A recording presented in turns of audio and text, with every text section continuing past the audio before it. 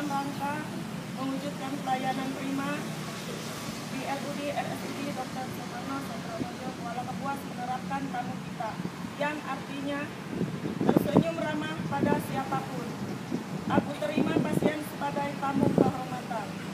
Melayani dengan tulus ikhlas. Usaha untuk cepat tanggap dan tepat. Komunikasi yang interpersonal dan interoperatif. Inisiatif untuk mengatasi masalah. Tekun dan sabar dalam melayani antar dapat antar dan dampingi pasien.